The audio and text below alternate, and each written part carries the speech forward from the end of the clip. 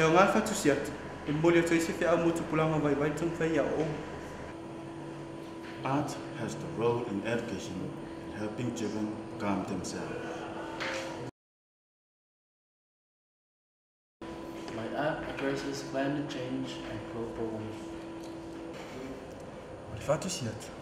I le ngata ina au mai e se whi au. A se alanga o le lei mo le atina ina o ainga.